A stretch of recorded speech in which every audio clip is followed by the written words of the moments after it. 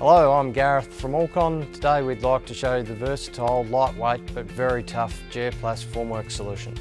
Productivity is just one of the benefits of the Geoplast system. Geoplast reduces site manpower hours, is reusable up to 100 times, simple and quick to assemble, extremely durable and provides consistent results. In real terms, that's genuine savings and increased profits for you. In this series, we'll give you an overview of the Geoplast system and how it can benefit your business. Geoplast is a lightweight, modular system made from tough ABS technopolymer. Available in round and square column modules and wall panel sections, the 605mm high modules are locked together utilising a revolutionary but simple locking system making assembly quick and easy.